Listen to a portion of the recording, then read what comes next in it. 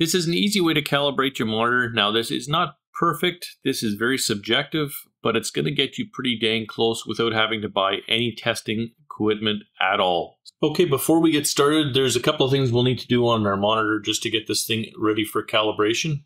So to start out, go into settings, head down to picture, your picture mode, change that to custom. For picture adjust, if you have anything like super resolution, we want to turn that off. Uh, black level, we can turn that to its lowest setting if you have that. We can turn off DFC, and that should be good for that section. Uh, if you have a game section, you may have something called like a black stabilization. Uh, you'll want to turn that to its midpoint as well. This is going to affect our blocks in a big way for calibration.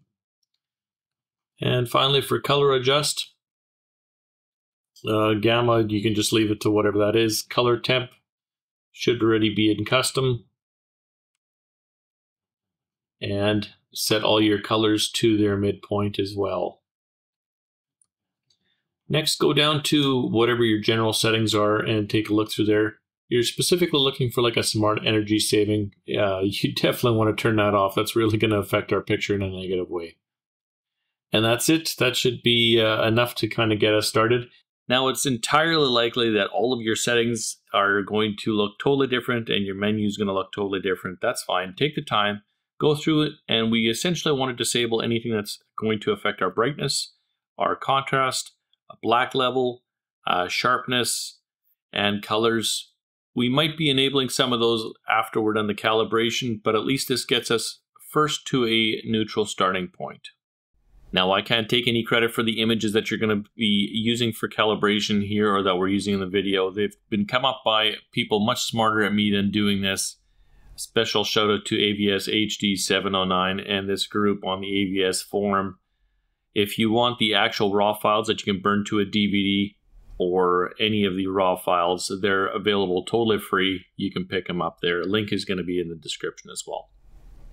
Okay, so the first setting we're going to want to adjust is our black level, or our brightness.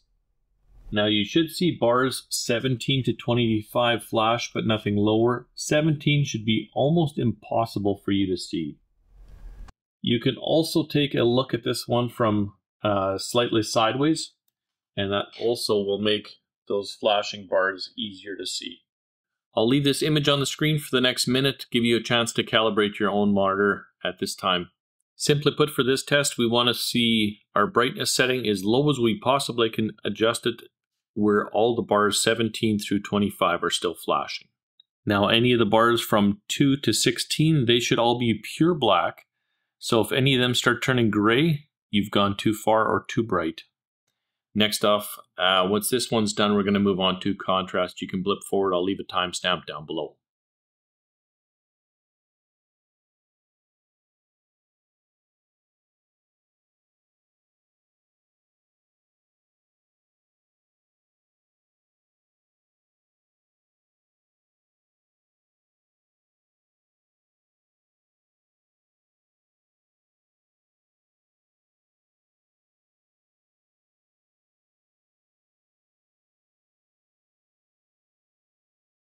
To adjust our contrast here, bars 230, 234 or higher, we want them to flash. If they stop flashing, we've gone too far or added too much contrast.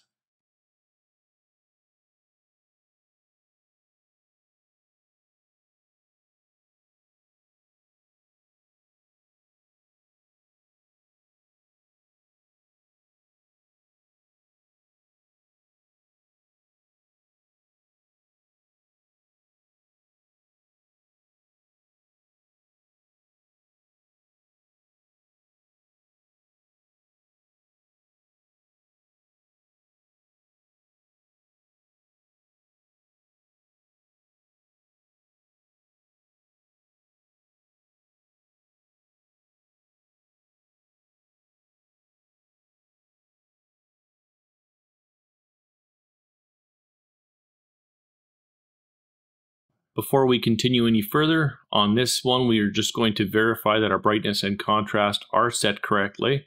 half the bars should be flashing, the other half should not be flashing in both the white section and on the black section. If you're happy with your results, continue on to the next one. We're going to adjust our sharpness. If not, go back and start the brightness and contrast again.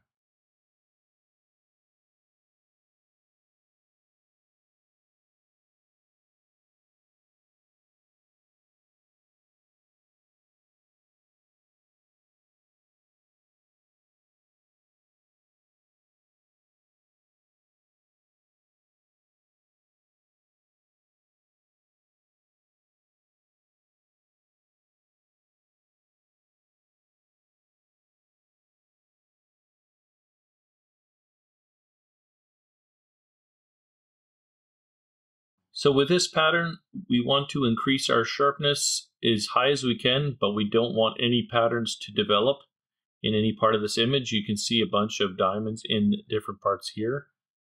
And you'll also see this arc.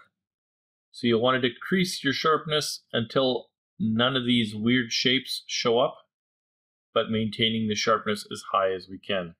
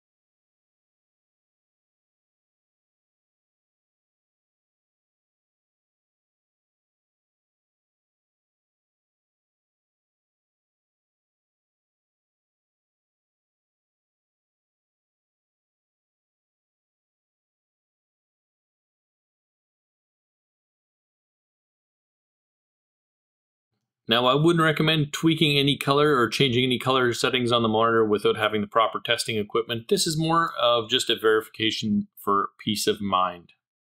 What this color pattern should look like to you is something similar to the one that you see in the middle here. If it's oversaturated or there's too much color, we're going to start getting to this end, or too little color, we'll uh, start getting somewhere down at this end.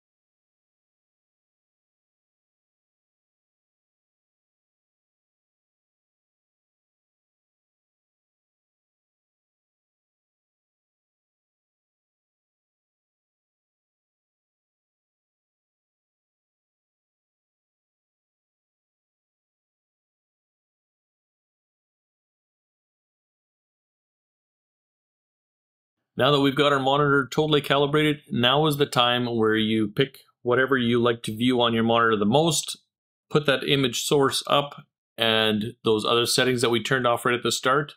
Now is a chance for you to kind of turn them on and off and see what they do for your image and then adjust it to whatever you like to see.